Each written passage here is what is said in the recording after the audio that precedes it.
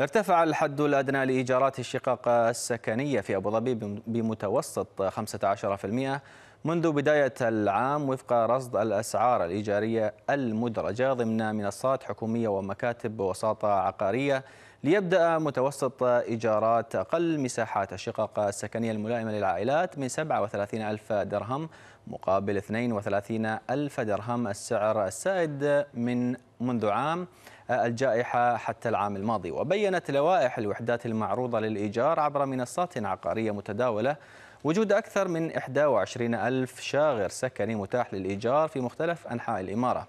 وشهدت مناطق مثل جزيرة الريم والسعديات وشاطئ الراحة دخول كم كبير من الوحدات المنجزة.